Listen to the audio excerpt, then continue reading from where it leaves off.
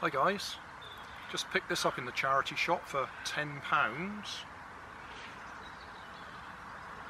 Nickel metal hydride batteries, didn't take any charge so I've swapped it for a small LiPo straight away so we can try and fly it while the weather's relatively nice.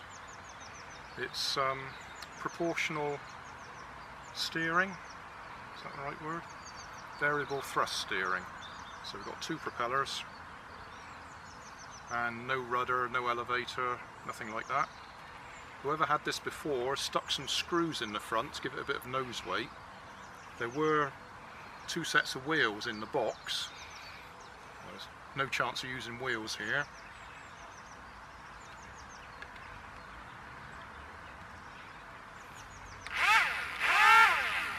So we'll see if we can fly it.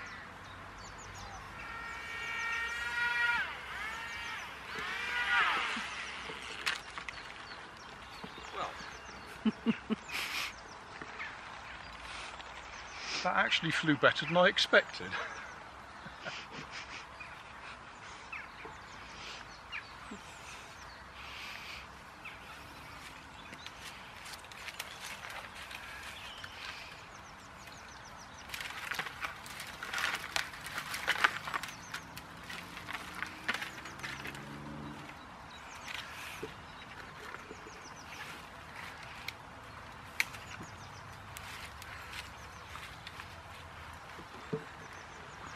This time I'll move away from the trees a bit further.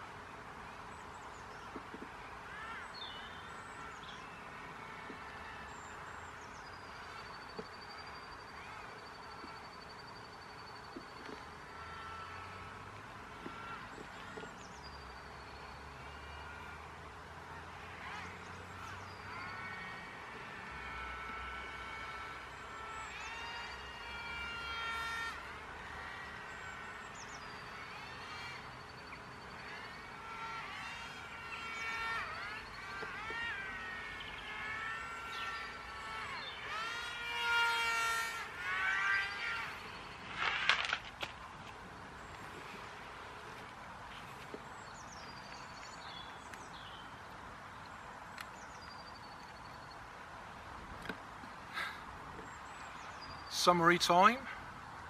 Well, it flies. Pilot's no good, but the plane flies. Um, it seems to get stuck. If I give it right throttle, right throttle, right turn, it actually sticks over on the right. A closer look now. That's stuck right, and the same left, it sticks there. I'm expecting it to jump back to the middle, but it's not. So that's caused a bit of confusion when I'm flying. Also, I can leave the throttle in the middle, which is the motor switched off, and just fly it entirely using that. See if I can demonstrate that.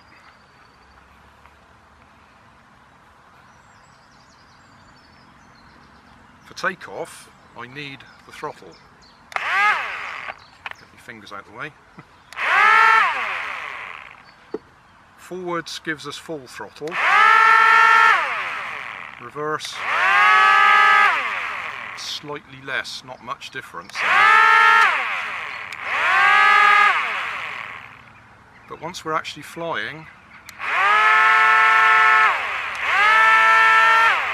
I can just use the steering because that's still making both motors go.